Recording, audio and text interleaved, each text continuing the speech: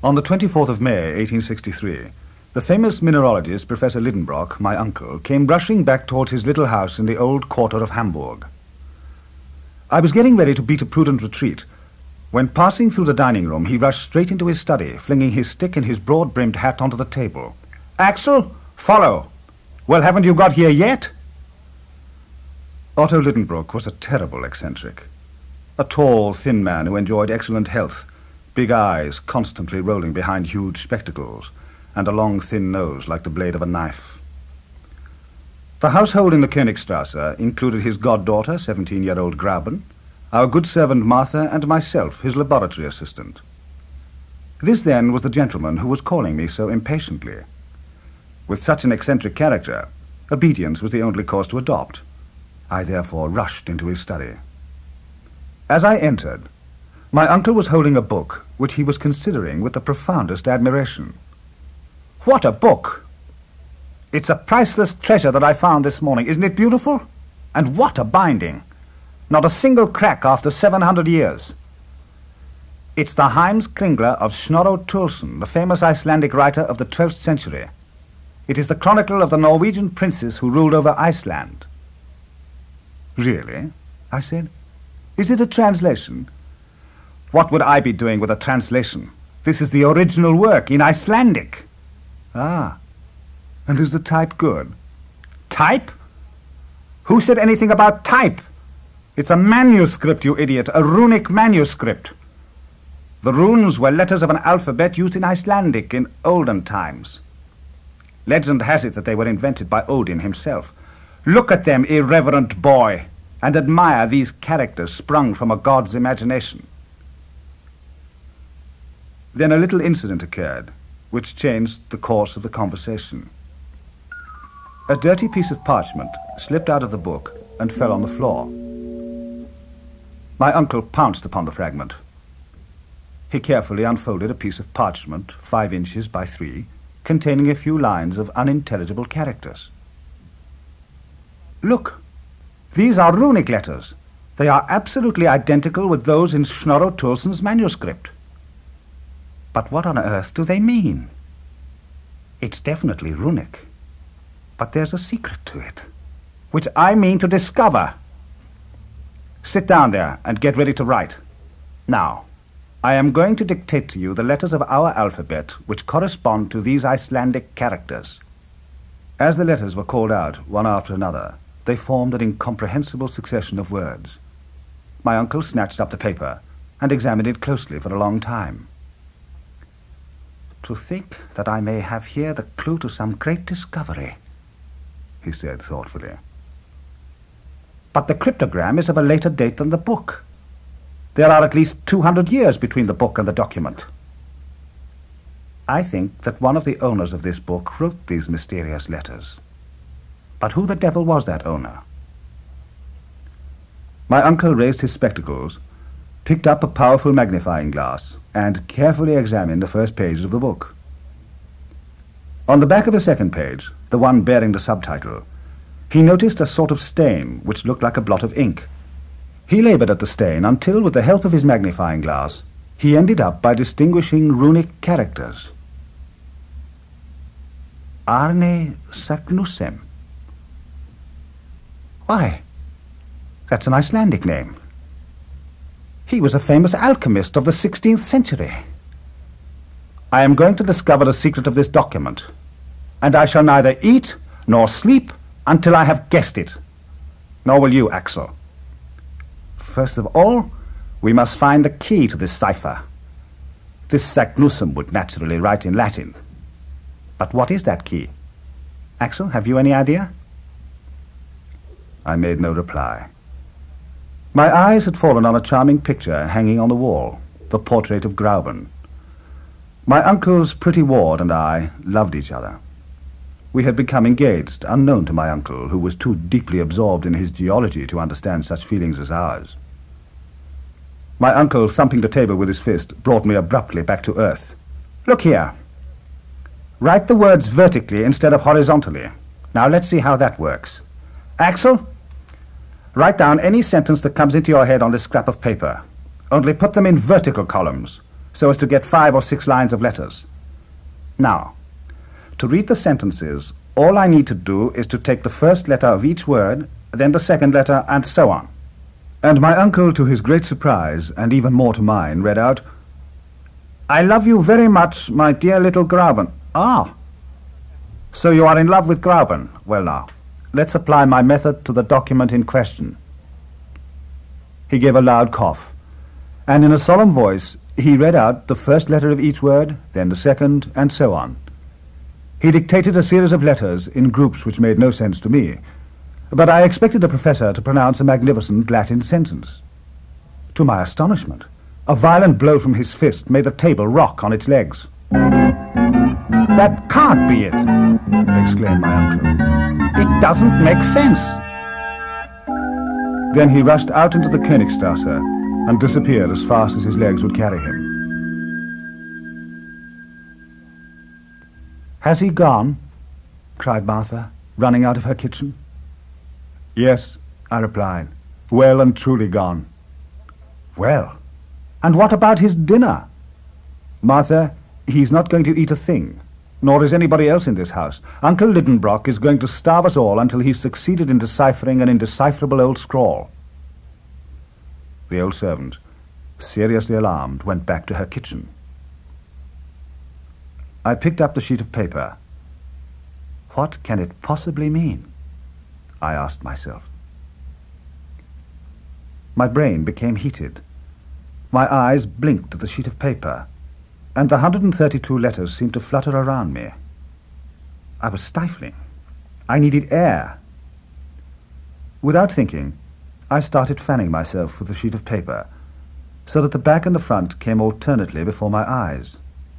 Imagine my surprise when, in one of these rapid movements, just as the back was turning towards me, I thought I could see some perfectly legible words. Latin words, such as craterum and terrestre.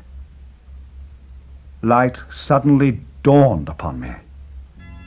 I bent over the table and placed my finger on each letter in succession, and without stopping, without hesitating for a moment, I read out the whole sentence.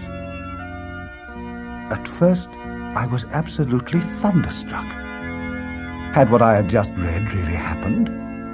Had some man had the audacity to penetrate... Oh no. If my uncle got to hear of a journey of this sort, he would want to follow suit. He would set off in spite of everything, and he would take me with him. And we should never come back. Never. Never.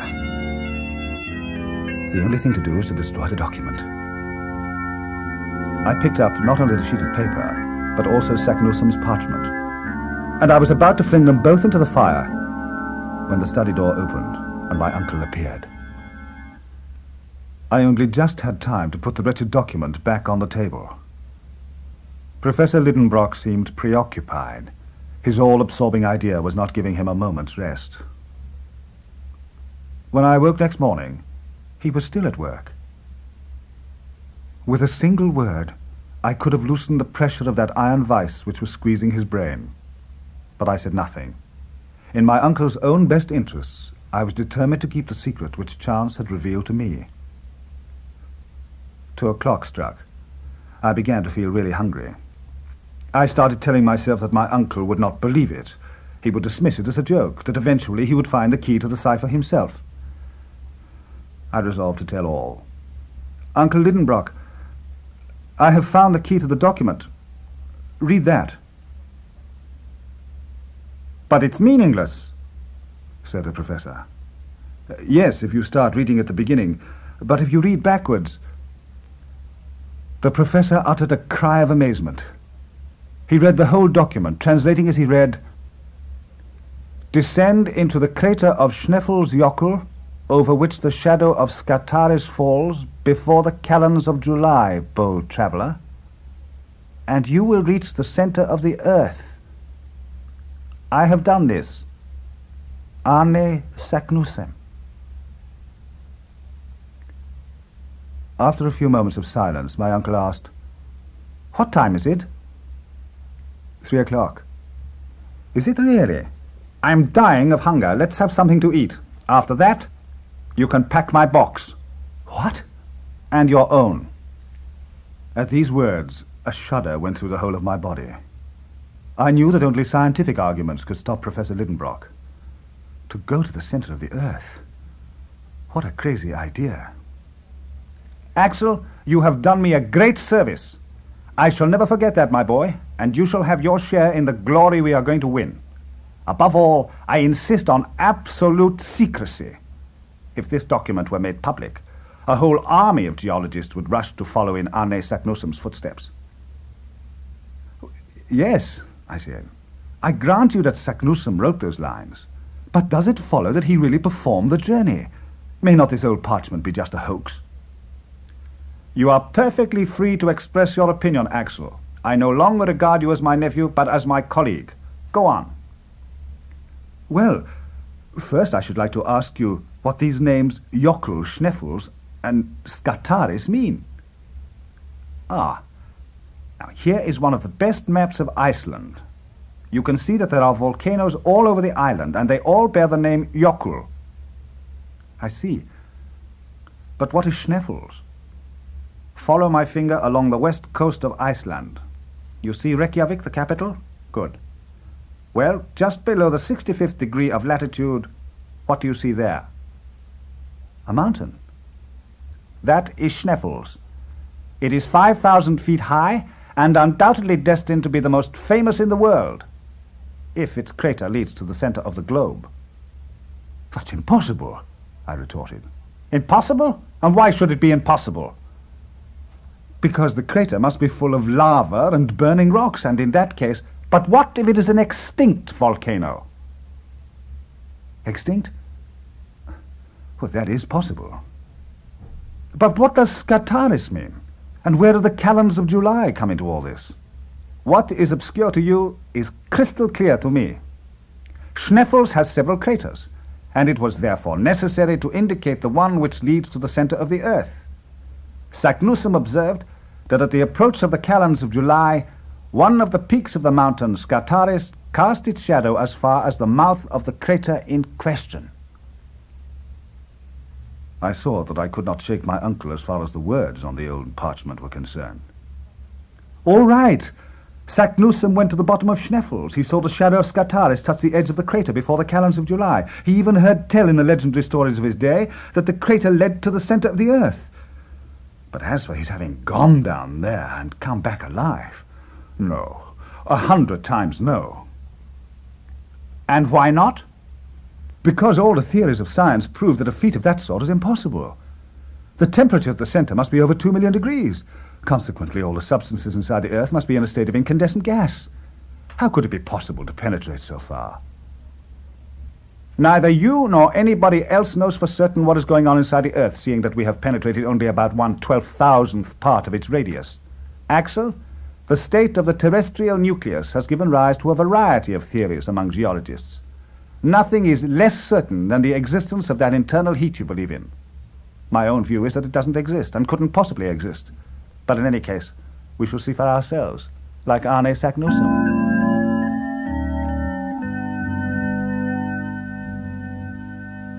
I needed fresh air and went out to the banks of the Elbe.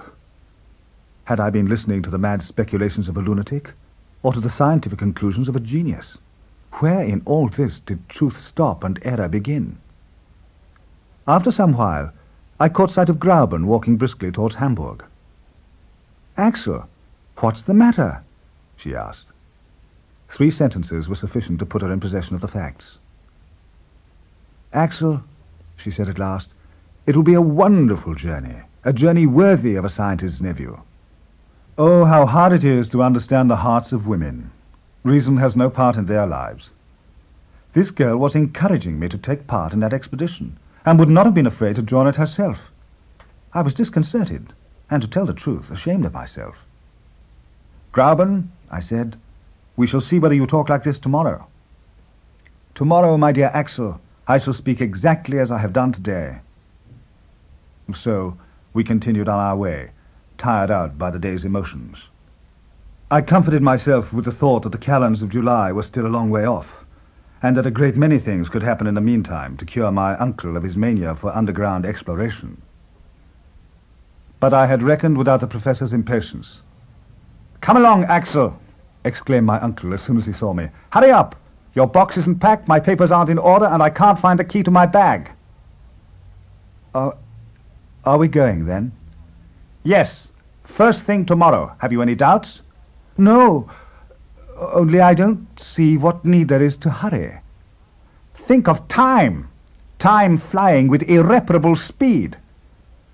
But it's only the 26th of May, and from now until the end of June, if we delay, we should arrive too late to see the shadow of Scartaris touch the crater of Sneffels. So we have to get to Copenhagen as fast as we can to find some means of transport to Iceland. Go and pack your things. I'll see you tomorrow morning. We leave at six, sharp. I couldn't bear any more. I fled upstairs to my room and slumped onto my bed. During the night, fear took hold of me. I felt the professor's strong hand gripping me dragging me along, pulling me into chasms and quicksands. I kept hurtling into bottomless abysses with the increasing velocity of bodies dropping through space. My life had become an interminable fall.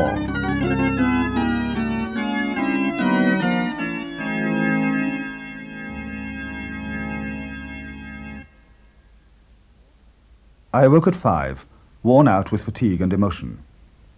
I went down to the dining room. My uncle was at table eating a hearty breakfast. Grauben was there. I couldn't eat anything. At half past five, there was a rumble of wheels outside. A carriage had arrived. It was now obviously impossible to fight against my fate. At that moment, my uncle was solemnly handing over the reins of the house to Grauben. She couldn't restrain a tear as she kissed my cheek. Martha and Grauben waved a final farewell.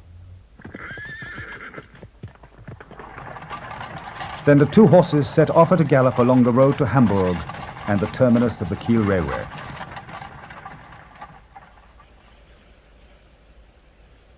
At seven o'clock, we were sitting opposite each other in our compartment. The whistle sounded and the engine moved off. We were on our way.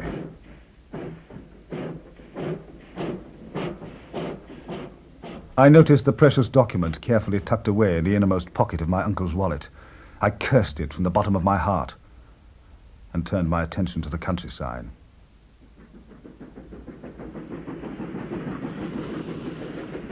Three hours after our departure, the train stopped at Kiel, a stone's throw from the sea.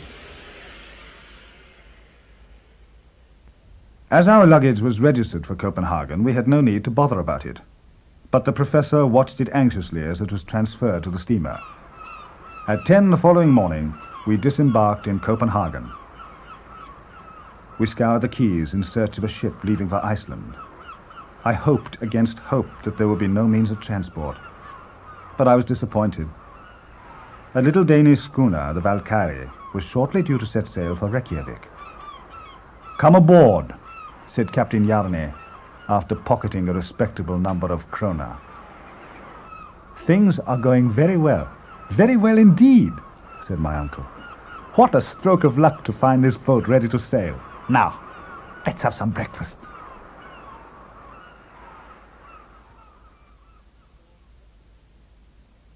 So on the 2nd of June at 6 in the morning, our precious luggage was taken on board the Valkyrie. Is the wind favorable? asked my uncle. Couldn't be better, replied Captain Bjarne. It's a sou'easter. We shall leave the sound at full speed with all sails set. Soon our schooner encountered the great Atlantic swell. She had to tack against the north wind and reached the Faroes only with some difficulty. The voyage passed without incident. I bore the trials of the sea fairly well. My uncle, to his great annoyance and even greater shame, was sick from beginning to end. Fourteen days after leaving Copenhagen, we sighted the beacon of Cape Skagen. An Icelandic pilot came on board, and three hours later the Valkyrie anchored off Reykjavik. The professor at last emerged from his cabin, somewhat pale and haggard, but as enthusiastic as ever. Before leaving the deck of the schooner, he dragged me forward and pointed out to me to the north of the bay a high mountain with a double peak covered with perpetual snow. Schneffels! Schneffels! We were carrying an introduction to a Mr. Friedrichsen, a local schoolmaster, and like my uncle, a geologist. For a few days we were his guests while we assembled our provisions and instruments. Only too soon I heard my uncle say to our host, Now we are ready, and I must see about getting a guide. I have one I can offer you, said Friedrichsen. He's an able fellow, and I'm sure you'll be pleased with him. When can I see him? Tomorrow, if you like. Why not today? Because he won't be here till tomorrow. Tomorrow, then, said my uncle, with a sigh. I slept soundly all night, and when I awoke I joined my uncle in the next room. He was chatting volubly in Danish with a big, strapping fellow who was obviously uncommonly strong. Everything about him indicated a perfectly calm temperament, not indolent, but peaceful.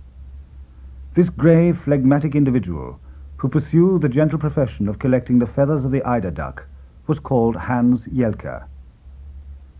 My uncle wanted to pay the hunter in advance, but he refused with a single word, after. A splendid fellow, exclaimed my uncle. But he little knows what a wonderful part he is going to play in the future. So he's coming with us to the center? Yes, Axel, to the center of the earth. The start was fixed for the 16th of June.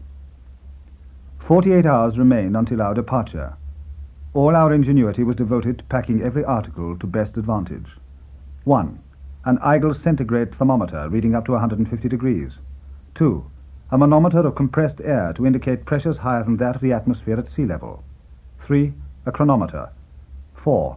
Two compasses, one for inclination, the other for declination. 5. A night glass. 6. Two Ruhmkorff coils which by means of an electric current provided a safe, handy and portable light. 7. Two rifles and two Colt revolvers. 8. A large quantity of gun cotton, mattocks, pickaxes, a silk rope ladder, three iron shod staves, an axe, a hammer, a dozen iron wedges and spikes, and some long knotted cords.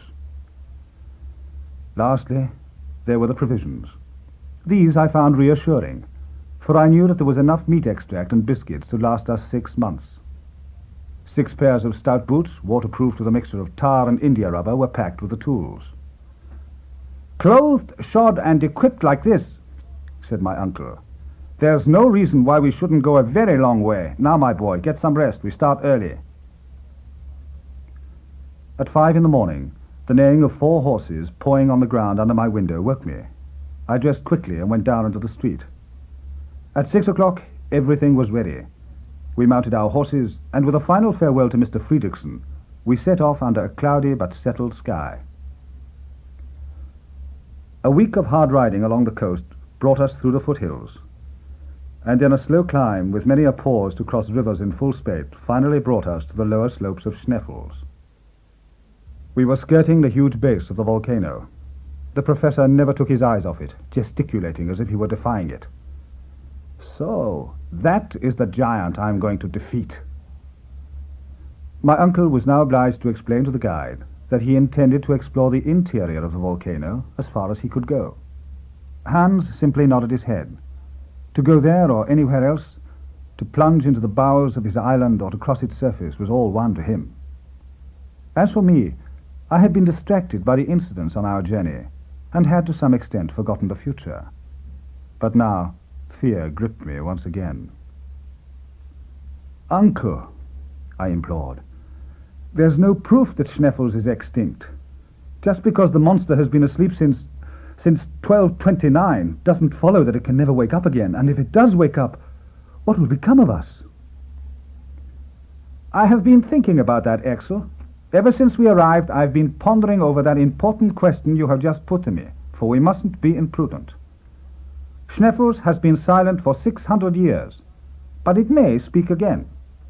Now, eruptions are always preceded by certain well-known phenomena, I have therefore questioned the local inhabitants and examined the ground, and I can assure you, Axel, there will be no eruption. So we began scaling the slopes of Sneffels. By seven in the evening, we had ascended the 2,000 steps of a natural stone staircase which had aided our ascent, and we found ourselves on a sort of bulge in the mountain. a kind of bed on which the actual cone of the crater rested. The sea stretched away 3,200 feet below. We had passed the perpetual snow line. It was bitterly cold and the wind was blowing hard. I was exhausted. The professor saw that my legs were failing me. Look, he said.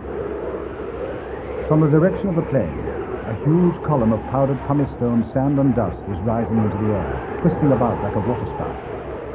The wind was driving it against the side of Schnevels to which we were clinging. If this column were to bend towards us, we should inevitably be caught up in its eddies. Hastig! Hastig! I understood that we had to follow Hans as fast as we could. Fortunately, we had reached the opposite side and were sheltered from the danger as the dust storm fell on the mountain. At last, at 11 o'clock at night, in complete darkness, we reached the summit of Schneffels. And before taking shelter inside the crater, I had time to see the midnight sun at the lowest point of its course, casting its pale rays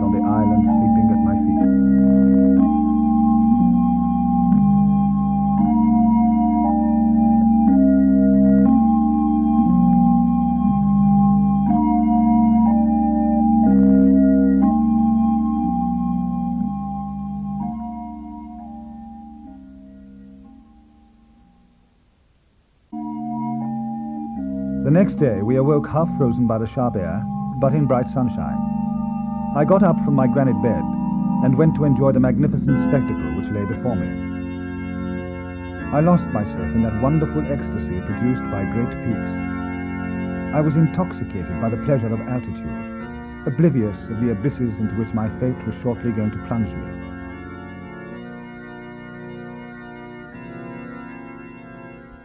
Hans and the professor joined me on the summit of the peak. We are at the top of Schneffels, and here are two peaks, one to the south and the other to the north. Hans, tell us what the Icelanders call the one on which we are standing now. Scartaris. My uncle shot a triumphant glance at me. Now for the crater, he cried. I imagined the condition of this huge reservoir filled with thunder and flames. To go down into a blunderbuss, I thought, when it may be loaded and may go off at the slightest touch, is sheer lunacy. But there was no going back. By noon, we had arrived at the bottom of the abyss. I raised my head and saw above me the upper aperture of the cone, framing a greatly reduced but almost perfectly circular patch of sky. At one point, only the peak of Scartaris stood out, rising into space. At the bottom of the crater, there were three chimneys. I hadn't the courage to look into them, but Professor Lidenbrock had already made a rapid survey of all three. He was panting for breath, running from one to the other, gesticulating and muttering unintelligible words. Suddenly my uncle gave a shout. I saw him with his arms outstretched and his legs wide apart in front of a granite rock which stood at the center of the crater. Axel! Axel! he cried. Come here! Come here! Look! On the western face of the block, carved in runic characters, half worn away by time, I saw the name Arne Saknussemm. Arne Saknussemm! cried my uncle. Have you any doubts now? Overwhelmed by this piece of evidence, I made no reply. The next day, a grey, cloudy, heavy sky settled over the summit of the cone. Hope dawned again in my heart. Of the three ways open to us beneath our feet, only one had been taken by Saknussemm. According to the Icelandic scholar, the shadow of Scartaris touched the correct one during the last days of June, and on a given day pointed out the way to the center of the earth. Now, if the sun failed to shine, there would be no shadow, and consequently no guide. It was the 25th of June. If the sky would only remain cloudy for six days, the expedition would have to be postponed for another year. On the 26th, there was still no sign. Sleet fell all day. The next day, the sky was still overcast. But on Sunday, the 28th of June, the sun poured its rays into the crater. The shadow of Scartaris stood out like a sharp edge and started turning imperceptibly with the sun. My uncle turned with it. At midday, in the shortest period of its course, it gently touched the edge of the central chimney. It's there! cried the professor. It's there! Now for the center of the earth. I looked at Hans. Forut, said the guide calmly. Forward, repeated my uncle. It was thirteen minutes past one. The real journey was beginning.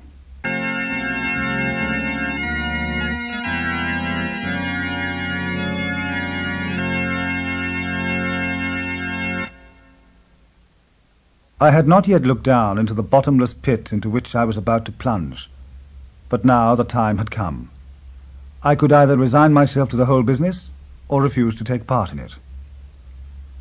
I leaned over a projecting rock and looked down. My hair stood on end. The fascination of the void took hold of me. I felt my center of gravity moving and vertigo rising to my head like intoxication. I was on the point of falling when a hand pulled me back. It was that of Hans. Even so, however brief my examination of the chimney had been, I had seen how it was shaped. Its almost perpendicular walls were covered with countless projections which would facilitate our descent. My uncle uncoiled a rope about as thick as a thumb and four hundred feet long. First he let down half of it, then looped it over a projecting block of lava and threw the other half down. By holding on to both halves, each of us could then descend without the rope unwinding. When we were two hundred feet down, nothing could be easier than to regain possession of the whole rope by letting go of one end and pulling on the other. This process could be repeated ad infinitum. Hans tied all the non-fragile articles into a single bundle and threw them bodily down the chimney. My uncle, leaning over the abyss, followed the descent of his baggage with a satisfied air. Good, he said. Our turn now. Now I ask any honest man if it was possible to hear those words without a shudder. After half an hour, we had reached the surface of a rock which was firmly attached to the wall of the chimney. Hans pulled one end of the rope, the other rose into the air, and, after passing round a projecting rock at the top of the chimney, came down, bringing with it a dangerous sort of rain, or rather hail, of stones and pieces of lava. Leaning over the edge, I observed that the bottom of the hole was still invisible. The maneuver with the rope was begun again, and half an hour later we had descended another two hundred feet. The professor was making observations, for at one of our halts he said to me, The farther I go, the more confident I feel. The order of these volcanic formations fully confirms Davy's theory. We are in the middle of the primordial stratum, in which the chemical operation took place of metals catching fire at the contact of air and water. I absolutely reject the idea of central heat. In any case, we shall soon see. After three hours, I still couldn't see the bottom of the chimney, and it was getting gradually darker. Still, we kept on descending. We had started at one o'clock, and had been descending for ten hours. As for the depth we had reached, fourteen operations with a rope 200 feet long totaled 2,800 feet. At that moment, the professor called out, Halt! We have arrived. Where? At the bottom of the perpendicular chimney. Isn't there any other way out then? Yes. And I can just make out a sort of corridor slanting away to the right. We shall see about that tomorrow. Let's have our supper first and then sleep. Lying on my back, I saw a bright point of light at the end of a 3,000 foot tube, which acted like a gigantic telescope. It was a star which must have been B Ursa Minor, then I fell into a deep sleep.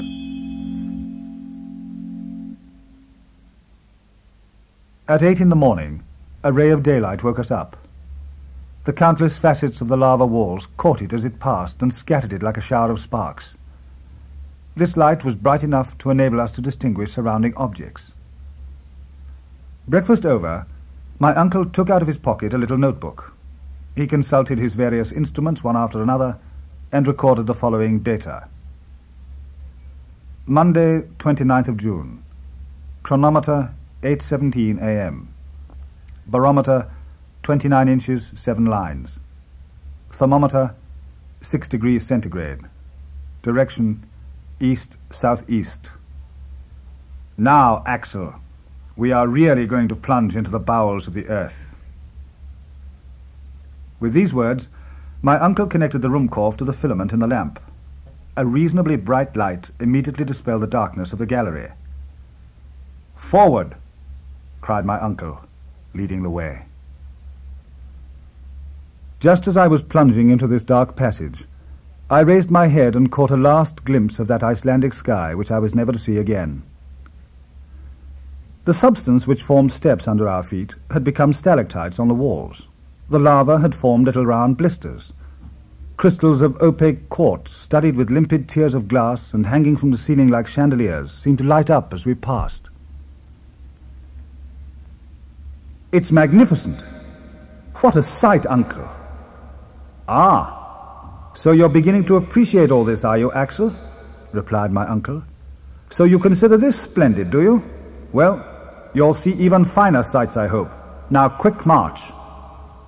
As yet, there was no considerable rise in temperature.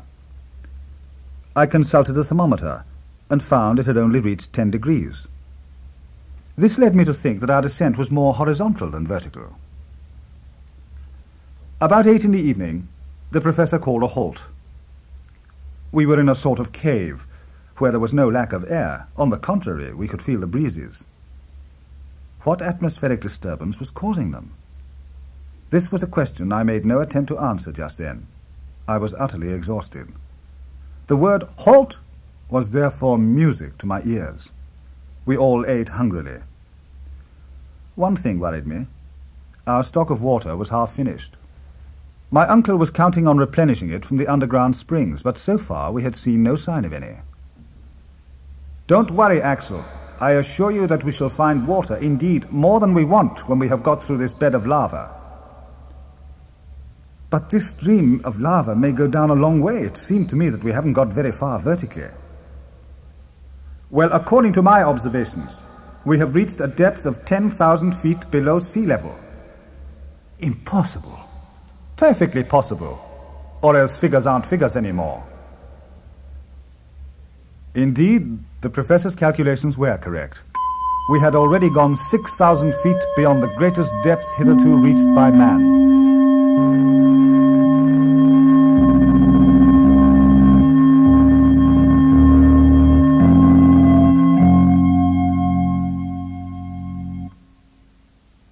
30th of June at 6 in the morning we began the descent again. This went on until 12.17, at which moment we caught up with Hans, who had just stopped. We were at the intersection of two roads, both of them dark and narrow. My uncle didn't wish to appear to hesitate before either me or the guide. Trusting entirely to chance, he pointed to the eastern tunnel. The slope of this new gallery was very slight, and its section extremely variable. In some places, we even had to crawl along through narrow tunnels. At six in the evening, we had gone five miles south, but barely a quarter of a mile in depth. My uncle called a halt. We ate without much conversation, and went to sleep without much reflection. We awoke fresh and in good spirits, and resumed our journey. I hurried after Hans, who was following my uncle. I was anxious not to be left behind. I shuddered at the thought of losing my way in this maze. At one point, where the tunnel was becoming very narrow, I leaned against the left-hand wall. When I took my hand away, it was quite black. A coal mine, I exclaimed. A mine without any miners, replied my uncle. This journey through the coal mine lasted till evening, and I was beginning to think that it would never come to an end when all of a sudden at six o'clock, a wall appeared unexpectedly before us. To the right, to the left, above and below, there was no way through. We had come to a dead end. Well, so much the better, cried my uncle. Now at least we know where we stand. We are not on Saknussemm's road, and there's nothing we can do but turn back. Let us take a night's rest, and in less than three days we shall be back at the place where the paths fork. Yes, I said, if we have the strength. And why shouldn't we?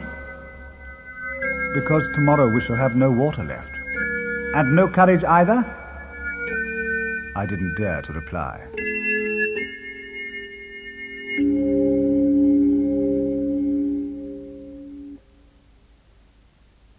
The next day we started early in the morning. We had to hurry because we were three days' walk from the fork. Our water gave out completely at the end of the first day's march. I found the heat stifling and was paralyzed with fatigue. At last, on Tuesday the 7th of July, crawling on hands and knees, we arrived half dead at the junction of the two galleries. There, I dropped like a lifeless mass stretched out on the lava floor. It was ten in the morning. After a while, my uncle came over to me and raised me in his arms. Then I saw him take the flask hanging at his side. To my amazement, he put it to my lips. Drink, he said. A mouthful of water. It's the last. You understand? The very last. Thank you, uncle. Thank you. Although my thirst had only been partially quenched, I had recovered a little of my strength. My lips were less inflamed. I found that I could speak. Look, I said, there's only one thing left for us to do. We have no water, so we must go back. We must return to Schneffels. Go back, said my uncle, and give up this expedition just when success seems assured? Never. I have begun this journey and I mean to finish it. Listen to the proposal I want to put to you. The lack of water is the only obstacle in our way.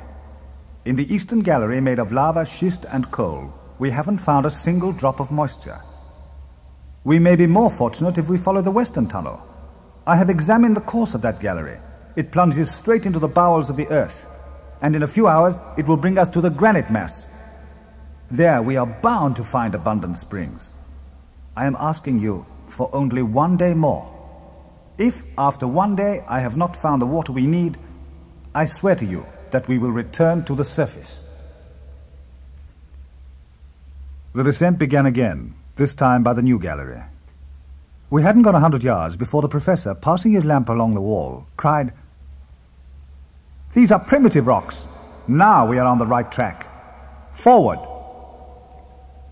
The beams from our lamps, reflected by the tiny facets of rocky mass, crisscrossed in all directions, so that I felt as if I were walking through a hollow diamond, inside which the rays were shattering against each other. About six o'clock, this festival of light abated to a noticeable extent and almost ceased. We were immured in a huge prison of granite. It was now eight in the evening, and there was still no sign of water. I was suffering agonies of thirst. My uncle strode on, listening for the murmur of some spring but there was nothing to be heard.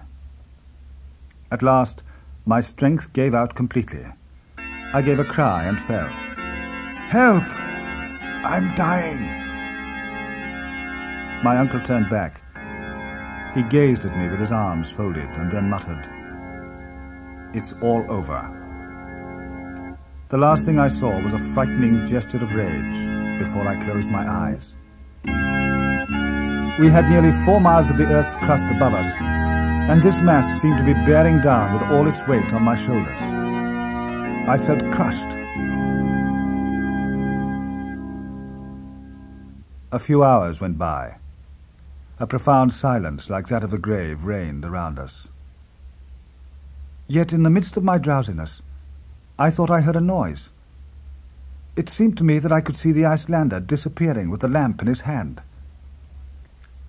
I tried to shout that Hans was abandoning us, but my voice couldn't break through my parched lips. For a whole hour, my delirious brain passed in review all the reasons which might have roused our guide to action. But at last, I heard the sound of footsteps in the depths of the abyss. Hans reappeared.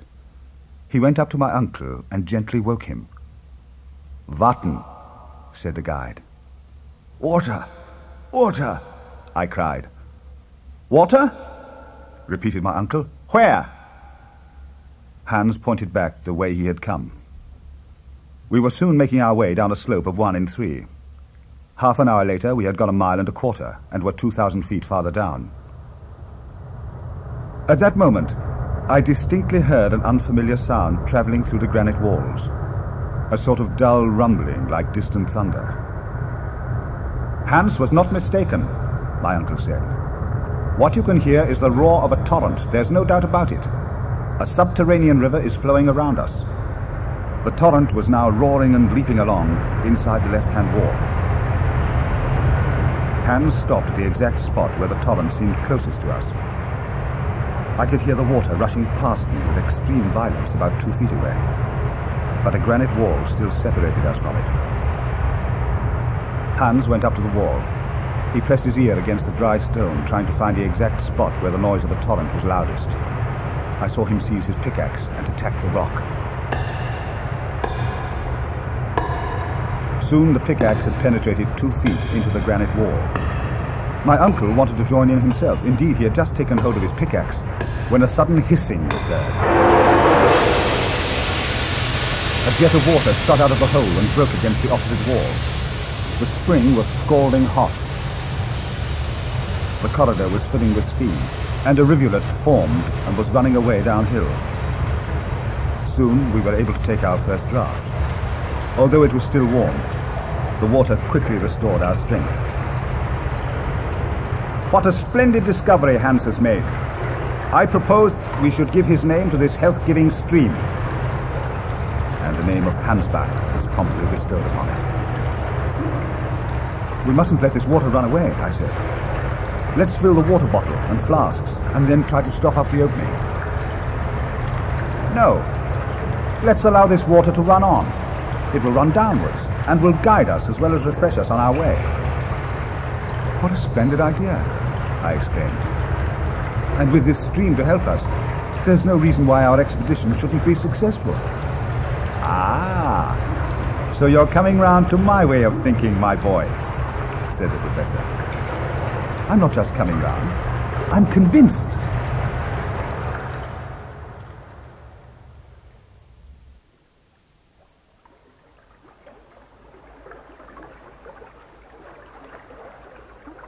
The next day, we had already forgotten all our past sufferings. Fortunately, all we had to do was descend. Let's start, Let's start. Let's I cried, awakening with my shout the oldest echoes in the world. We set off again at eight on Thursday morning. The winding granite tunnel seemed as tortuous as a maze, but its general direction was consistently southeast. Then, all of a sudden, a frightening shaft opened at our feet. Now we shall make progress, my uncle cried. This shaft was a narrow crack in the granite mass, a fault which had obviously been caused by the contraction of the Earth's crust while it was cooling. On the 11th and 12th of July, we followed the spirals of this fault, penetrating another five miles deeper into the Earth's crust, or about 13 miles below sea level. But on the 13th, about midday, the fault took on a much gentler slope of about 45 degrees in a southeasterly direction. The path then became easy and absolutely monotonous. On Wednesday the 15th, we were 18 miles underground and about 125 miles from Schneffels. When the professor told me that we had traveled 125 miles horizontally, I couldn't help exclaiming, If your calculations are correct, we are no longer under Iceland. We have passed Cape Portland and are under the sea. Under the sea, repeated my uncle, rubbing his hands with delight. I rapidly became accustomed to the idea. For the gallery, now running straight, now winding about, but constantly heading southeast and always going deeper, soon took us to a very great depth indeed.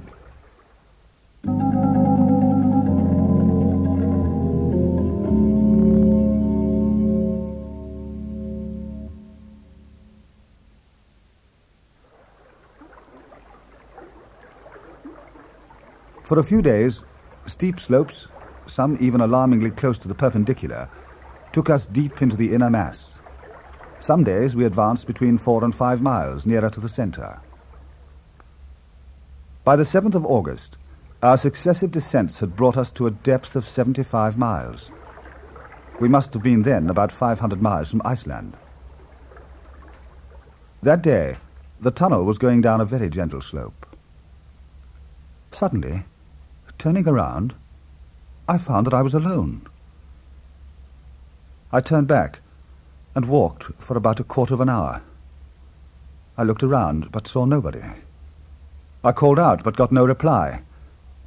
I began to feel uneasy and a shiver ran down my spine. Keep calm, I said aloud to myself. I am sure to find my companions again. There's only one path after all. Seeing that I was in front, I must go back. An extraordinary silence reigned in the long gallery. I stopped. I could not bring myself to believe that I was alone. I might have gone a little astray, but I couldn't be lost. Before continuing my climb, I bent down to drink from the Hansbach. To my horror and amazement, I found that I was standing on rough, dry granite. The stream was no longer flowing at my feet. To describe my despair at that moment would be impossible, for there is no word for it in any human language. I was buried alive. In the midst of this anguish, a new terror took hold of me. My lamp had been damaged in my fall. Finally, a last gleam flickered in the lamp, and I was plunged into unfathomable darkness. At this point, I lost my head. I started dashing haphazardly through that inextricable maze, going downwards all the time, crying, shouting, yelling, bruising myself on the jagged rocks, and constantly expecting to run into some wall and dash my head to pieces, until I fell headlong to the floor and fainted.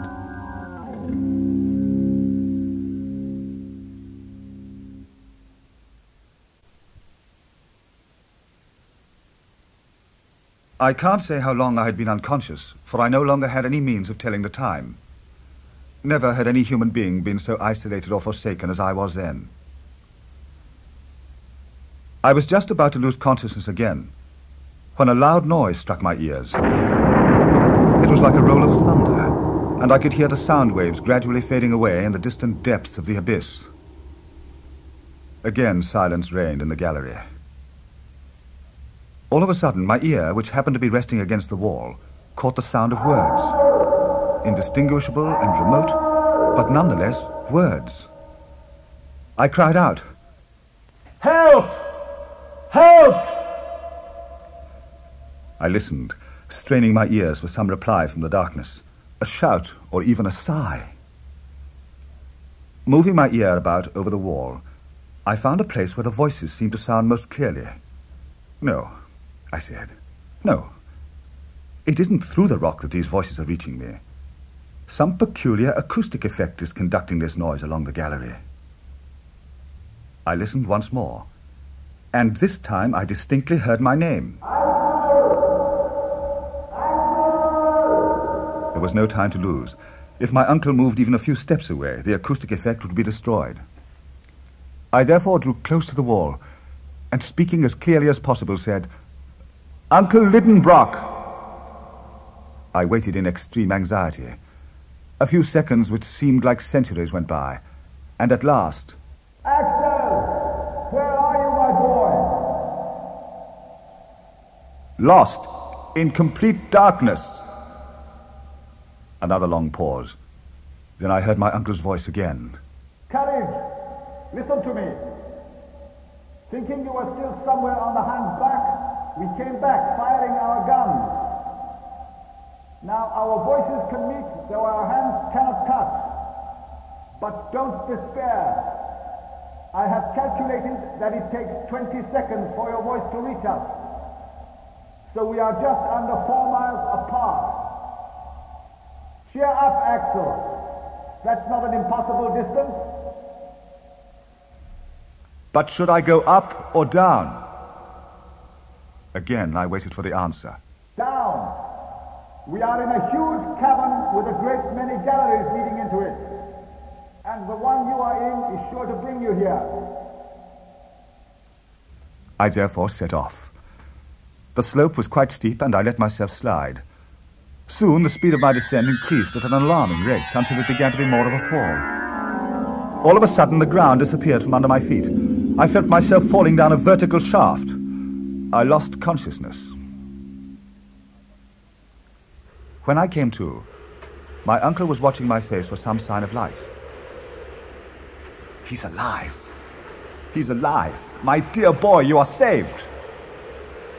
Uncle, tell me where we are. Tomorrow, Axel, tomorrow. Sleep now, and tomorrow I will tell you everything. It really is a miracle that you weren't killed. For heaven's sake, don't ever let us get separated again. Not get separated again? Then the expedition wasn't over. I opened my eyes wide in astonishment. What's the matter, Axel? I must be mad. I can see daylight, and I can hear the wind blowing and the sea breaking on the shore. Let's go out. I need an explanation. No, Axel. The open air might be bad for you. The open air? Yes, the wind is rather strong. I don't want you to risk going out in it. A relapse would cause us a lot of trouble, and we have no time to lose, for the voyage may be a long one. The voyage? Yes. Rest today, and tomorrow we'll set sail. Set sail? My curiosity was aroused to fever pitch. When my uncle saw that my impatience was likely to do me more harm than the satisfaction of my curiosity, he led me out. When my eyes became accustomed to the light, I was astounded. The power of this light was unlike the splendor of our own sunshine, nor the pale glow of moonlight.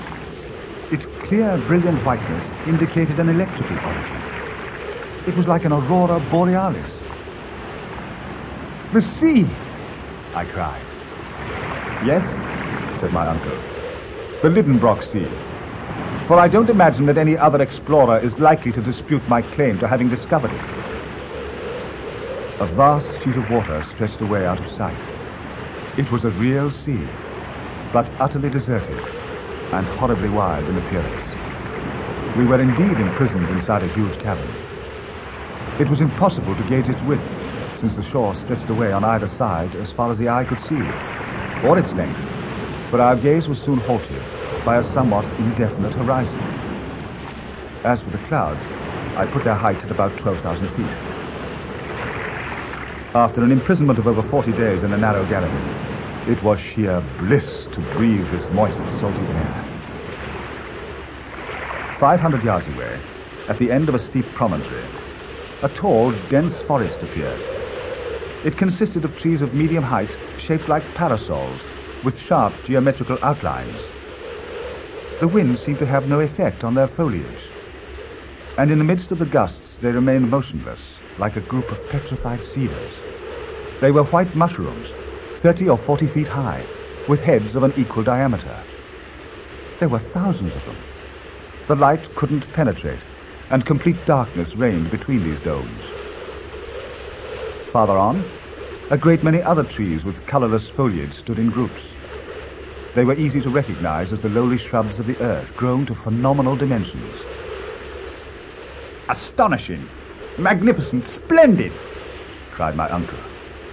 Here we have the entire flora of the secondary period of the world, the transitional period.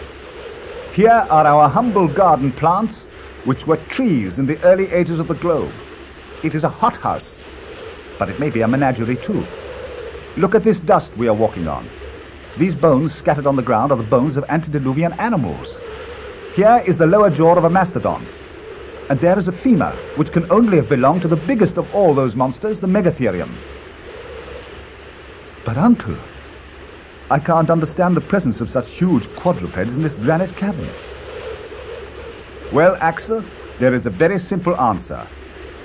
This soil is alluvial.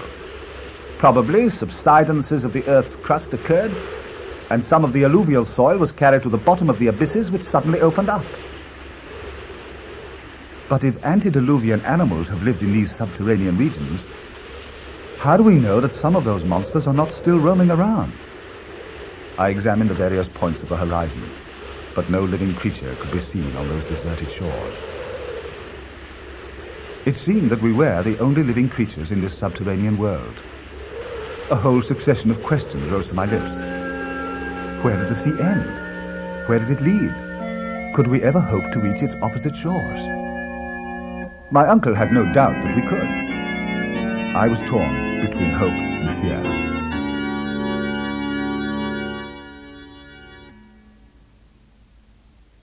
The next morning, I was feeling completely recovered. After breakfast, we were walking on the sandy beach, and the waves were gradually moving up the shore.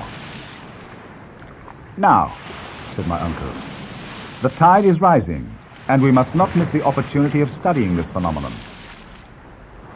Uncle, who would ever have imagined that inside the Earth's crust there was a real ocean with ebbing and flowing tides, winds and storms? Why shouldn't these waters contain fish of some unknown species? Let's make some lines and hooks and see if they will have as much success down here as up above. We will try, Axel, for we must penetrate all the secrets of these newly discovered regions. But where are we, Uncle? Horizontally, we are 875 miles from Iceland. As far as that? I am sure I am not more than a mile out. And how deep down are we? 88 miles. So, I said, examining the map, the mountainous part of Scotland is above us. The Grampians are raising their snow-covered peaks at an incredible height over our heads. Yes, replied the professor. It's rather a heavy weight to carry, but the ceiling is solid. I'm not afraid of the roof caving in, I said. But what are your plans? Aren't you thinking of returning to the surface of the earth? Seeing that everything has gone so well so far, we shall continue our journey. But I don't see how we're going to get down below this liquid plain. On the opposite shore must lie the entrance to our next descent. There's no time to lose. We set sail tomorrow. But what about a boat? It won't be a boat, my boy, but a good solid raft. Hans is already at work. Building a raft? Yes, Come and look. A half-finished raft was lying on the sand. The next evening, the raft was finished. The beams of fossil wood, bound together by strong ropes, formed a solid surface. And once launched, this improvised vessel floated peacefully on the waters of the Lidenbrock Sea. The provisions, baggage, instruments, arms, and a large amount of fresh water were put on board. And at six o'clock, the professor gave the order to embark. Just as we were leaving the little harbour, my uncle suggested giving it a name. I've a name to propose to you, I said. Grauben. Port Grauben. Port Grauben it shall be, conceded the professor magnanimously. The wind was blowing from the northwest. We sailed before it at great speed. After an hour, my uncle had been able to calculate our speed. If we go on at this rate, he said, we shall cover at least 75 miles in 24 hours, and it won't be long before we reach the opposite shore.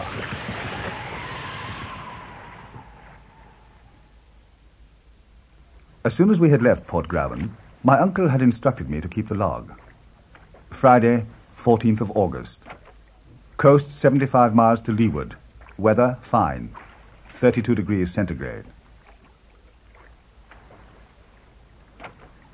At midday, Hans fastened a hook at the end of a line, baited it with a small piece of meat, and threw it into the sea. For two hours we caught nothing, and we began to think that these waters were uninhabited. But then there was a pull at the line. Hans drew it in and brought a struggling fish out of the water. My uncle noted after a brief examination that the fish belonged to the family of the Cephalaspides, which had long been extinct. In two hours, we caught a considerable quantity of Pterichthys, as well as some fish belonging to another extinct family, the Dipterides. None of them had eyes. Now my imagination carried me away among the wonderful hypotheses of paleontology, and I had a prehistoric daydream. I could see floating on the water some huge chersites, antediluvian tortoises like floating islands.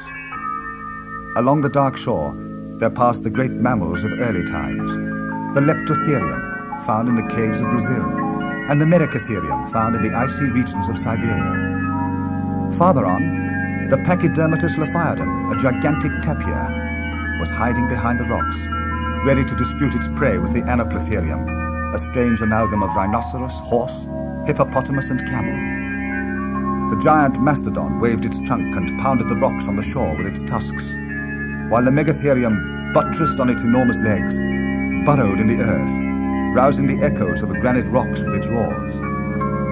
Higher up, the Protopithecus, the first monkey to appear on Earth, was climbing the steep peaks. Higher still, the pterodactyl with its winged claws glided like a huge bat through the dense air. And finally, in the upper strata of the atmosphere soared enormous birds, more powerful than the cassowary and bigger than the ostrich. The whole of this fossil world came to life again in my imagination. Then my dream took me even further back into the ages before the appearance of living creatures. The mammals disappeared, then the birds, then the reptiles of a secondary period, and finally the fishes, crustaceans, mollusks, and articulated creatures. Centuries passed by like days. I went back through the long series of terrestrial changes. The plants disappeared. The granite rocks softened solid matter turned to liquid under the action of intense heat. Water covered the surface of the globe, boiling and volatilizing. Steam enveloped the earth, which gradually turned into a gaseous mass, white hot, as big and as bright as the sun. In the center of this nebula, which was 1400,000 times as large as the globe it would one day form, I was carried through interplanetary space. An hallucination had taken hold of me. My body was volatilized in its turn and mingled like an imponderable atom with these vast vapors, tracing their flaming orbits through infinity. Have you gone mad? cried the professor. What is it? Are you ill? No. I've had a brief hallucination, but it's over now. Is everything all right? Yes. There's a fair wind and a fine sea. We are making good headway and unless my calculations are wrong, we shall soon make land.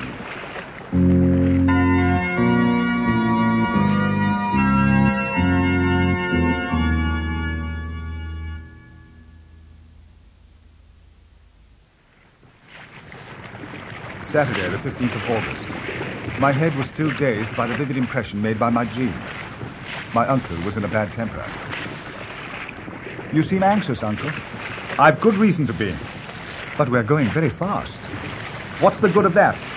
It isn't our speed that's too small, but the sea that's too big. I remembered that before we set sail, the professor had estimated the length of this subterranean sea at about 75 miles. But we'd already covered three times that distance, and there was still no sign of the southern shore. And we aren't going down, the professor went on. I didn't come all this way just to go for an outing on a pond. But, I said, we followed the course indicated by Saknussemm. That's just the point. Have we followed that route? Did Saknussemm meet this stretch of water? Did he cross it? Has that stream we took as a guide led us astray? My uncle took soundings, tying one of the heaviest pickaxes to the end of a cord which he let down 200 fathoms. No bottom. When the pickaxe was back on board, Hans showed me some deep imprints on its surface. They were definitely the marks of teeth. The jaws which contained them must have been incredibly powerful. I couldn't take my eyes off the bar, which had been half gnawed away. We must keep a sharp lookout.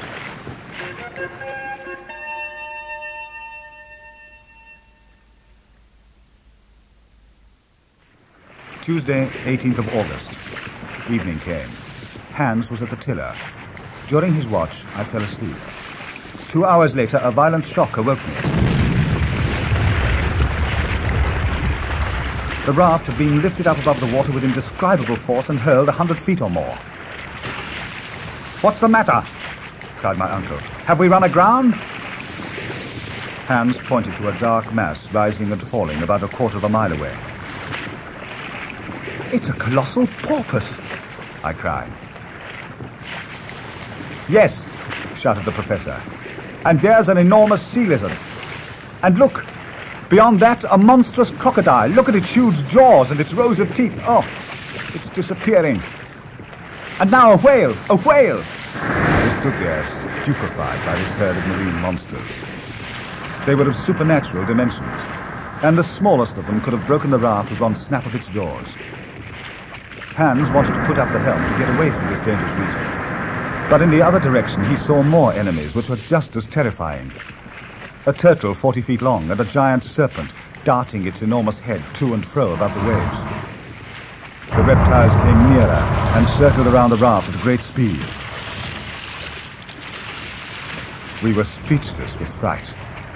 They drew closer, the crocodile on one side, the serpent on the other. The rest of the herd had disappeared. The two monsters passed within a hundred yards of the raft and hurled themselves on one another with a fury which fortunately prevented them from seeing us. The battle began. We could distinctly see the two monsters at grips with each other. The first of those monsters had the snout of a porpoise, the head of a lizard, and the teeth of a crocodile. It's the most formidable of the antediluvian reptiles, the Ichthyosaurus, explained the professor. The other is a serpent with a turtle shell and the mortal enemy of the first, the Plesiosaurus. These two animals attacked each other with indescribable fury.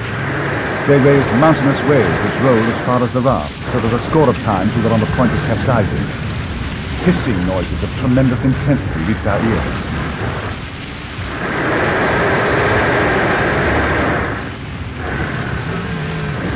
Suddenly, the Ichthyosaurus and the Plesiosaurus disappeared, creating a positive whirlpool in the water.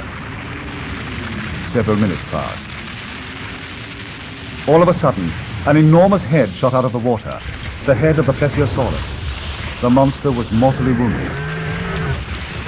I could no longer see its huge shell, but just its long neck, rising, falling, coiling and uncoiling, lashing and writhing the blood spurting all around. But soon, the reptile's death agony drew to an end. Its movements grew less violent. Its contortions became feebler, and the long serpentine form stretched out, an inert mass on the calm waves. Victorious, the Ichthyosaurus returned to its submarine cave. Friday, August 21st. I calculated we had sailed 675 miles from Port Grauben and were 1,500 miles from Iceland, under England. The weather was about to change. The atmosphere grew heavy. The clouds were full of electricity. My own body was saturated with it, and my hair was standing on end as if it were close to an electrical machine.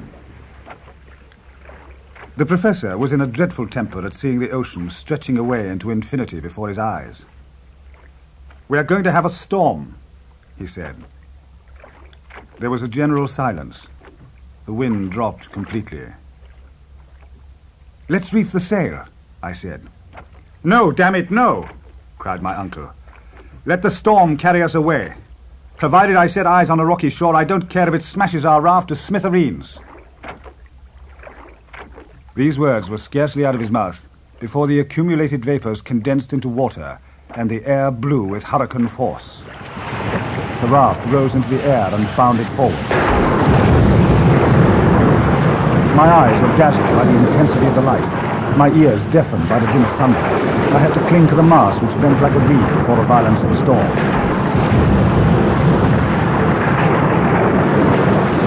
Sunday, August the 23rd. Where are we? We've been carried along with indescribable rapidity. Last night was dreadful, and the storm has not abated. We are living in a continuous din and uproar. Our ears are bleeding, and it's hardly possible to exchange a word. Where are we going? My uncle was stretched out at full length at the end of the raft. It is getting hotter. Monday, August the 24th. We are utterly worn out. At midday, the storm increased in violence, and the waves were washing over our heads. My uncle shouted, We are done for! Lower the sail! I yelled back. He was nodding in agreement when a ball of fire appeared on board.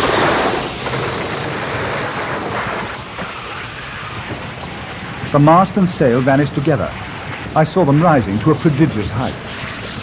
The fireball, half white, half blue, and the size of a 10-inch shell, moved across the raft slowly, but revolving at an astonishing speed under the lash of the hurricane. For a horrible moment, I thought we were going to be blown up as the dazzling ball approached. Hans simply stared at it, but my uncle fell to his knees to avoid it. It pirouetted towards my foot, which I tried to pull away, but in vain. A smell of nitrous gas filled the air. Why was I unable to move my foot? Then I realized that the electric fireball had magnetized all the iron on board. The nails of my boots were clinging to an iron plate. At last, with a violent effort, I managed to pull my foot away, just as the ball was going to seize it in its gyrations and carry me away. Suddenly there was a blaze of light. The ball had burst and we were covered with tongues of fire. Then everything went dark. Where are we going?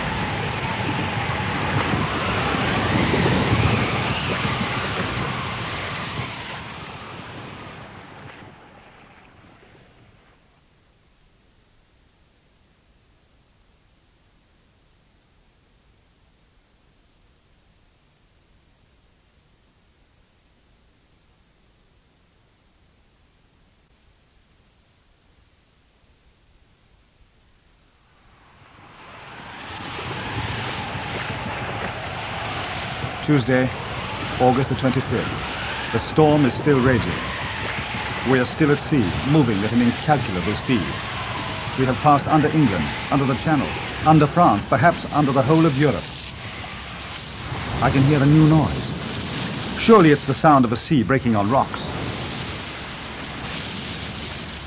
I felt myself being flung into the sea, but the brave Icelander carried me out of reach of the waves to a hot sandy beach where I found myself lying beside my uncle.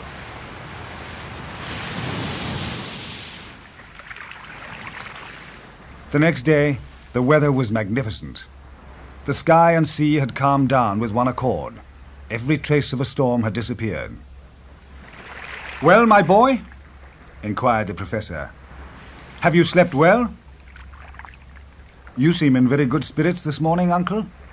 Delighted, my boy, delighted. We've arrived. At the end of our expedition? No, but at the end of that apparently endless sea. Now we can really plunge into the bowels of the earth. What about our return journey? You mean to say you are still thinking about the return journey before we've even arrived? No, no. I only want to know how, how we're going to manage it. In the simplest way possible. Once we have reached the center of the globe, we shall either find some new route to the surface, or we shall return in a very humdrum fashion by the way we have come. I don't imagine that it will close up behind us. Then we shall have to repair the raft. Of course. What about the instruments?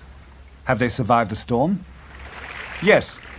Here is the manometer, the most useful of all, and there's the compass in perfect condition, as well as the chronometer and the thermometers. What about the provisions? I asked. For the most part, the sea has spared them. We have enough food for another four months. We have time to get there and back. During breakfast, I asked the professor where he thought we were. At our last observation, we were over 1,500 miles from Iceland. Count four days of storm, during which our rate cannot have been less than 200 miles every 24 hours. If our calculations are correct, we have now got the Mediterranean over our heads. We can't say for sure that we are under the Mediterranean and not under Turkey or the Atlantic, unless we are certain that our direction has not changed. We can easily find out by consulting the compass. He was cheerful, rubbing his hands and striking attitudes. I followed him, curious. My uncle took the compass and examined the needle, which after a few oscillations took up a fixed position. He turned to me in amazement. The north tip of the needle is pointing to what we suppose to be the south. It's pointing inland instead of out to sea. There seemed to be no doubt that during the storm a sudden change of wind had occurred which we hadn't noticed, and had brought the raft back to the shore which my uncle thought we had left behind us. So, fate is having fun with me, is it? Air, fire, and water combine to block my way. Well, I won't give in.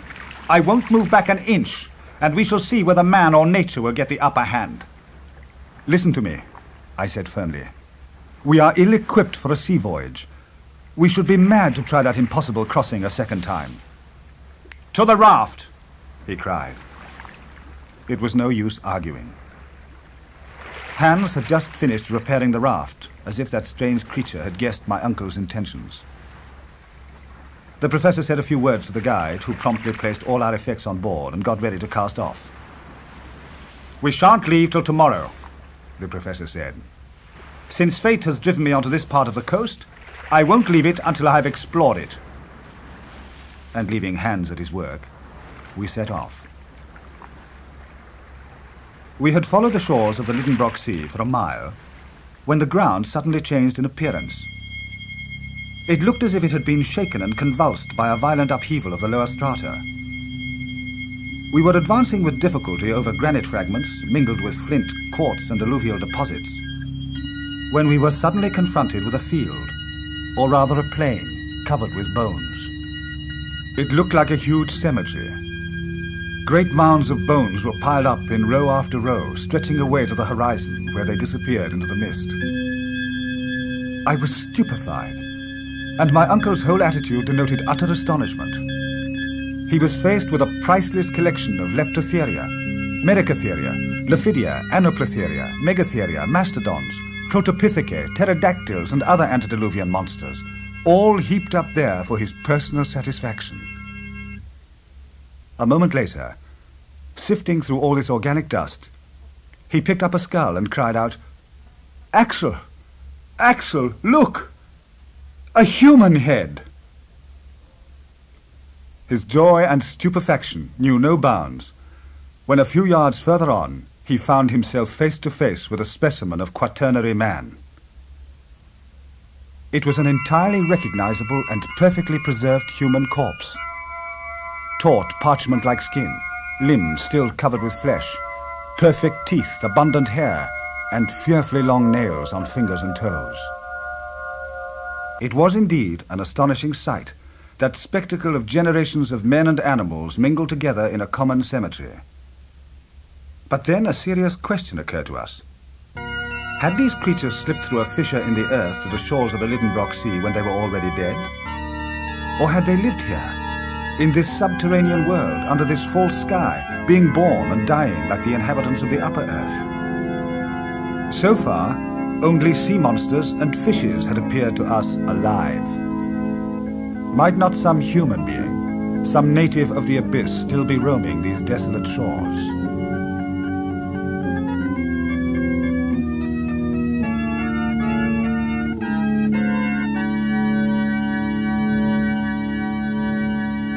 For another half hour, we walked over these layers of bones, impelled by our burning curiosity. What other marvels did this cavern contain? After walking a mile, we reached the edge of a huge forest. But this time, not one of those forests of mushrooms which we had seen near Port Grauben. My uncle plunged boldly into this gigantic thicket. Suddenly, I stopped short, holding my uncle back. I thought I had seen some huge shapes moving about beneath the trees. Sure enough, it was a herd of gigantic mastodons. Not fossils this time, but living creatures. I saw those huge elephants whose trunks were twisting about under the trees like a legion of serpents. We were alone in the bowels of the earth, at the mercy of its fierce inhabitants. Come along, Uncle said, seizing me by the arm. Forward, forward! No, I cried. No human being could brave the anger of those monsters. You are wrong, Axel. Look. Look over there. Less than a quarter of a mile away stood a human being watching over that great herd of mastodons.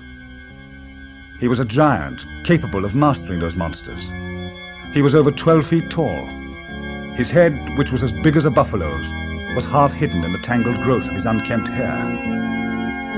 Come on! Come on! I cried, pulling my uncle, who for the first time in his life allowed himself to be persuaded. A quarter of an hour later, we were out of sight of that formidable figure.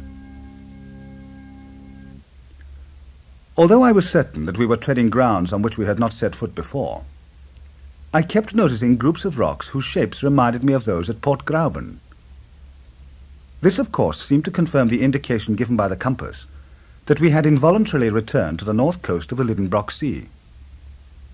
I told my uncle about my bewilderment. Obviously, I said to him, we haven't landed at our point of departure, but the storm has carried us a little further down. We must be near the little port. Perhaps, Axel, but we should at least find our own traces, and I can see nothing. But I can, I replied. This. And I showed my uncle a rusty dagger which I had just picked up. The professor examined it and exclaimed, This dagger is a 16th century weapon. It belongs neither to you, nor to me, nor to our guide. Axel, we are on the way to a great discovery. This blade has remained on the sand here for one, two, three hundred years. Somebody's been here before us, I cried. Yes, a man. A man who wants to indicate the way to the center of the earth. Let's look around. Presently, we reached a place where the beach narrowed. The sea almost came up to the foot of the cliffs, leaving a passage no wider than a couple of yards. Between two projecting rocks, we caught sight of the entrance to a dark tunnel. There, on a slab of granite, appeared two mysterious letters, half eaten away by time. The two initials of the bold, adventurous traveler. A.S. A.S., cried my uncle. Arne Saknussemm. I was already rushing towards the dark tunnel when the professor stopped me. Let's go back to Hans first, he said, and bring the raft to this spot. Axel, everything has worked out for the best. We are leaving this horizontal sea which couldn't lead us anywhere. Now we shall go down and down and down. Do you realize that we're less than 4,000 miles from the center now? Is that all? I cried. Why, that's nothing. Let's fetch the raft.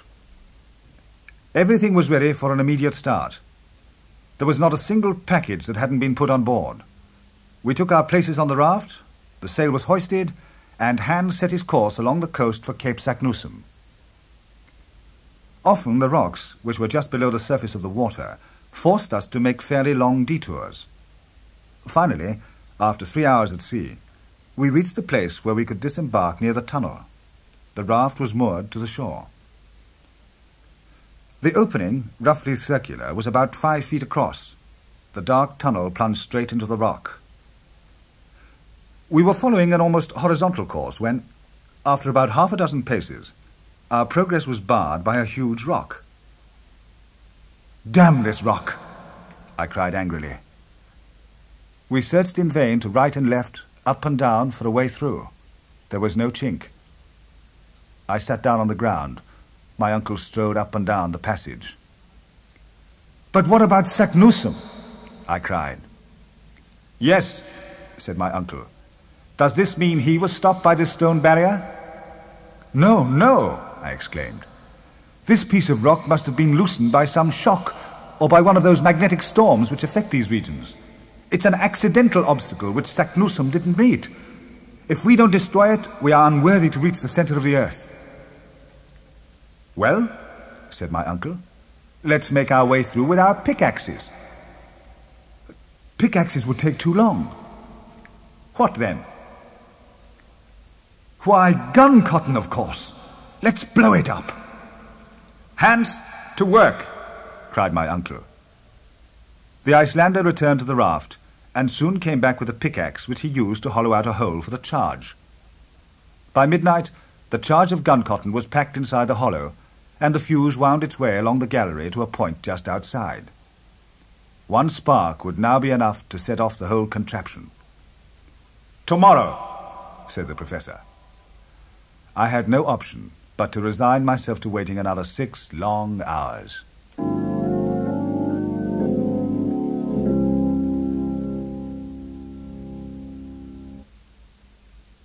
The next day, Thursday the 27th of August, was a great date in our subterranean journey. I can't recall it now without feeling my heart beating with fear. From that time on, our reason, judgment, and ingenuity accounted for nothing, and we became the playthings of the elements. The time had come to blast our way through the granite obstruction. I begged for the honor of lighting the fuse. Once I had done this, I was to join my companions on the raft.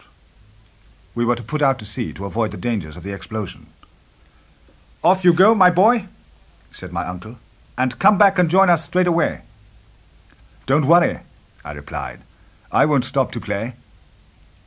I promptly went to the mouth of the tunnel, opened my lantern, and picked up the end of the fuse. The professor was holding his chronometer in his hand. Ready? he called out. Yes, I'm ready. Well then, fire, my boy. I ignited the fuse and ran back to the water's edge. Come on board, said my uncle. Hans, push off. Another five minutes. Another four. Another three. My pulse was beating half seconds. Another two. One. Now, you granite mountains, down you go. The shape of the rock suddenly changed before my eyes. They opened like a curtain. I caught sight of a bottomless pit which appeared in the very shore. The sea, seized with a fit of giddiness, turned into a single enormous wave, on the ridge of which the raft stood up perpendicularly. All three of us were thrown flat on our faces. In less than a second, the light was replaced by total darkness. In spite of the darkness, noise, surprise, and terror, I realized what had happened. On the other side of the rock, which had just blown up, the explosion had caused a sort of earthquake. An abyss had opened up, and the sea was pouring into it, carrying us with it. We hung on to each other to save ourselves from being thrown off the raft. This was undoubtedly the way Saknussemm had come, but instead of following it by ourselves, we had, by our imprudence, brought a whole sea along with us. The water was falling at an angle steeper than that of the swiftest rapids in America. The raft was occasionally caught by an eddy and spun round as it raced along. Then I made a discovery which complicated matters. I found that most of the objects which we had taken on board had disappeared at the moment of the explosion, when the sea had struck us so violently. Only the compass and the chronometer remained, and we had only one day's provisions left. I thought to tell my uncle everything, to show him the terrible straits to which we were reduced, to calculate exactly how much longer we had to live. But I had the courage to remain silent.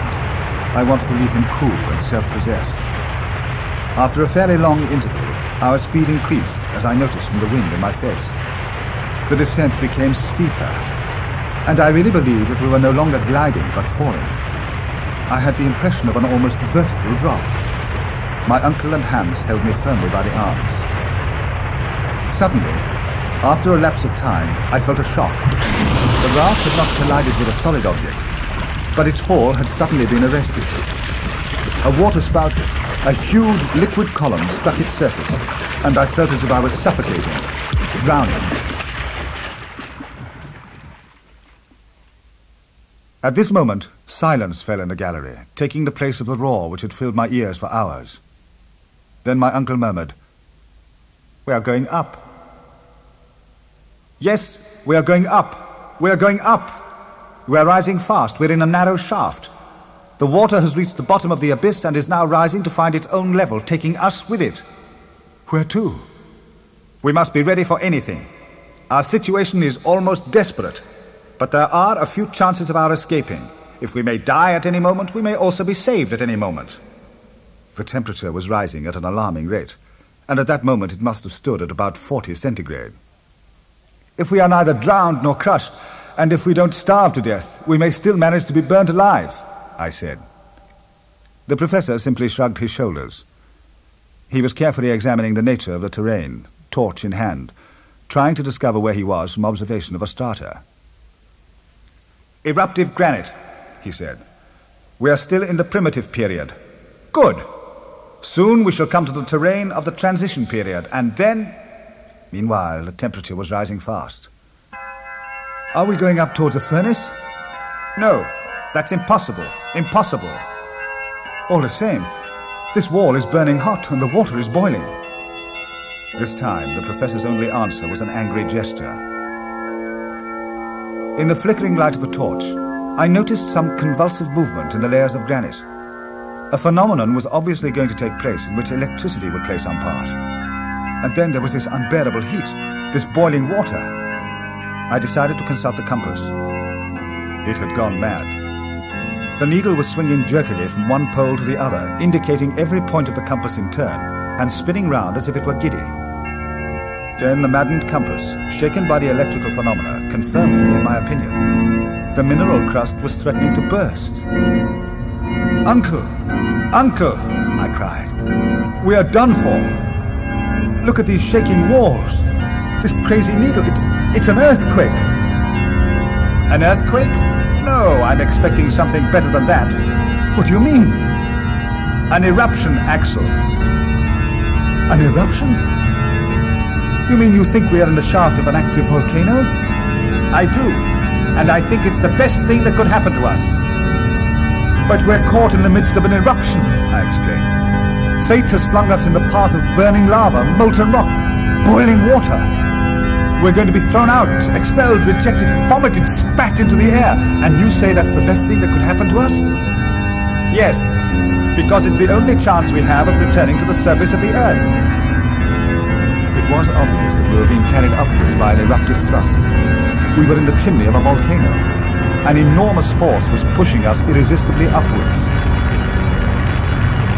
I have no clear recollection of what happened during the following hours, but just a vague impression of continuous explosions, shifting rocks, and a spinning movement in which our raft was whirled around. It rocked about on waves of lava, in the midst of a rain of ashes, roaring flames enveloped it.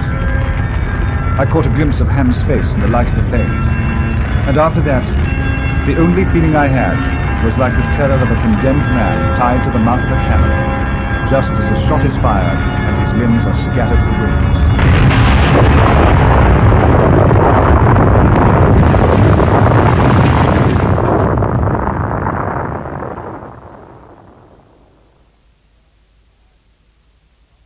When I opened my eyes again, I found myself lying on a mountain slope only a few feet from an abyss. Where are we? asked my uncle, who seemed to be extremely annoyed at being back on the surface of the earth. In Iceland, I said. It certainly doesn't look like Iceland. This isn't a northern volcano with granite slopes and a skull cap of snow, said the professor. After the countless surprises of our journey, one more had been reserved for us. Contrary to all our expectations, we were lying halfway down a mountain under a scorching sun. Above our heads, not more than 500 feet up, there was a volcano, through which, every quarter of an hour, with a loud explosion, there emerged a tall column of flame mingled with pumice stone, ashes, and lava. Its base was hidden in a regular bower of green trees, among which I made out olives, figs, and vines laden with purple grapes. The professor said, Whatever this mountain may be, it's rather hot here. Let's go down the mountain and find out where we are. I think we're in Asia, I replied. Or on the Indian coast. Or the Malay archipelago. Or Oceania. We might have gone right across the globe and come out of the antipodes of Europe. What about the compass? asked my uncle. According to the compass, we've been travelling north all the time, I replied. There was a mystery here, and I didn't know what to think. After two hours walking, we reached a lovely stretch of country, entirely covered with olive trees, pomegranate trees, and vines which seemed to be common property. What a joy it was to press that delicious fruit to our lips and to bite off whole clusters of those purple grapes. While we were enjoying these delights, a child appeared between two clumps of olive trees. Just as the boy was about to take to his heels, my uncle, doing his best to reassure him, asked him, What is the name of this mountain, my boy? The child made no reply. Good, said my uncle. We are not in Germany. He then put the same question in English. The child didn't answer. Is the boy dumb? cried the professor, and repeated the same question in French. The same silence. Then let's try Italian. Come si noma questa isola? Stromboli, replied the little shepherd boy. Oh, what a journey! What a wonderful journey! We had gone in by one volcano and come out by another, and this other was more than 3,000 miles from Schneffels. The chances of our expedition had carried us into the heart of the most beautiful part of the world. We had exchanged the region of perpetual snow for that of infinite verdure, and the grey fog of the icy north for the blue skies of Sicily. But the compass, the compass, it pointed north. How can we explain that fact?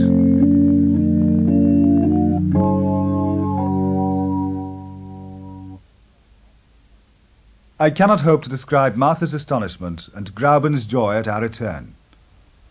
Now that you are a hero, Axel, my dear fiancé said to me, you will never need to leave me again. I looked at her, and she smiled through her tears. Our journey to the center of the earth created a tremendous sensation all over the world. One aspect of the journey, the behavior of the compass, remained a mystery, and for a scientist, an unexplained phenomenon is torture. Fortunately, Providence was to make my uncle completely happy. One day, while arranging a collection of minerals in his study, I noticed the famous compass and had a look at it. Suddenly I gave a cry of surprise. What's the matter? he asked. The compass. Well? Well, the needle points south instead of north. What's that you say? Look, the poles are reversed. Reversed? Light dawned at the same time in his mind as mine. So, after our arrival at Cape Saknussemm, the needle of this confounded compass pointed south instead of north, he exclaimed. Obviously, I said. Then that explains our mistake. But what phenomenon could have caused this reversal of the poles? It's all very simple. Explain yourself, my boy. During the storm on the Lidenbrock Sea, that fireball which magnetized all the iron on the raft simply reversed the poles of our compass. Ha ha! Ha ha! cried the professor. So it was a practical joke that electricity played on us. From that day onward, I was the happiest of men. For my pretty Grauben abdicated her position as ward and took her place in the Königstrasse house in the dual capacity of niece and wife.